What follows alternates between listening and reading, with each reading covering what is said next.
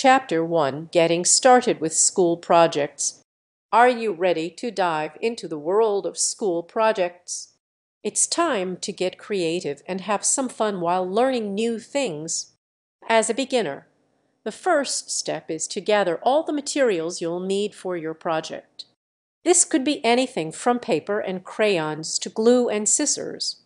Let your imagination run wild and think of all the cool ideas you can come up with. Once you have your materials ready, it's time to start planning your project. Think about what you want to create and how you want to present it. Maybe you want to make a poster, a diorama, or even a model. The possibilities are endless, so don't be afraid to try something new and different. As you start working on your project, remember to have fun with it. School projects are a great way to express yourself and show off your skills.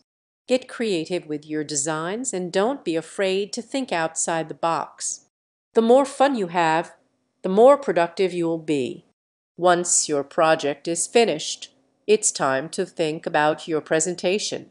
How do you want to showcase your hard work? Maybe you want to give a speech, create a slideshow, or make a video. Whatever you choose, make sure it reflects the time and effort you put into your project. School projects are a great way to learn new things and develop your creativity. They allow you to explore different ideas and showcase your skills in a fun and exciting way. So go ahead, grab your materials, fire up your imagination, and get started on your next school project. Who knows, you might discover a new passion along the way. Question, what are some common items you might need for a school project? Check the video description for the answer. Chapter 2, Exploring Different Types of School Projects.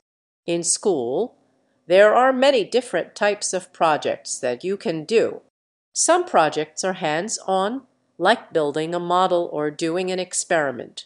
Other projects are more creative, like making a diorama or a poster.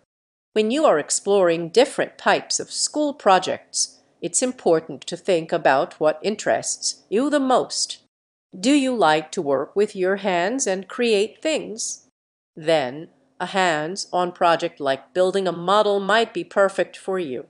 If you enjoy exploring new ideas and trying new things, an experiment could be a great choice. For those who are more artistic, making a diorama or a poster might be the way to go. These types of projects allow you to use your creativity and imagination to showcase what you have learned. Education is not just about reading textbooks and taking tests. It's also about learning in fun and exciting ways. School projects are a great way to do this. They can help you understand concepts better and remember them more easily. So, whether you're interested in hands-on projects, creative projects, or both, there is a type of project out there for you. It's all about exploring your options and finding what works best for you. Remember, school projects are meant to be fun and engaging. So, don't be afraid to try new things and step out of your comfort zone. You never know what you might discover about yourself and the world around you. So go ahead and start exploring different types of school projects today. Question, what are some examples of hands-on school projects? Check the video description for the answer.